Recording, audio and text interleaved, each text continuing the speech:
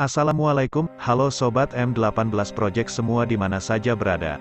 Semoga tetap sehat dan semangat selalu ya, amin.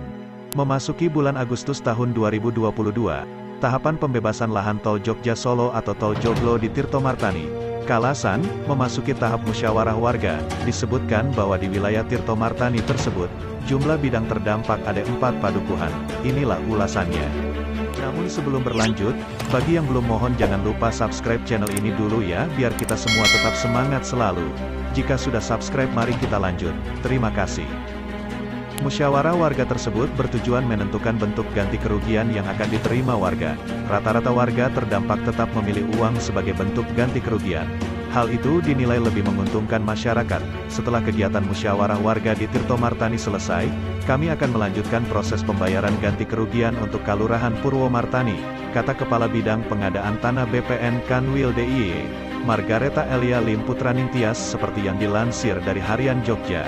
Dijelaskan, bahwa tim panitia pengadaan tanah atau P2T, pembangunan jalan tol Joglo seksi 1 dan 2 terus bekerja secara paralel dari kalurahan per kalurahan.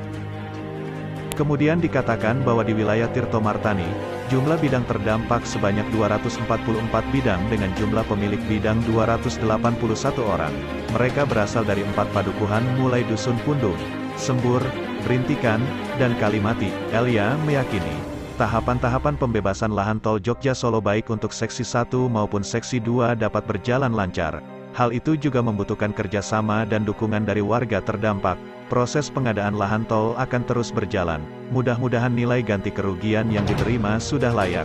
Hanya ada dua kasus keberatan, tol Joglo, yang diajukan ke pengadilan, katanya.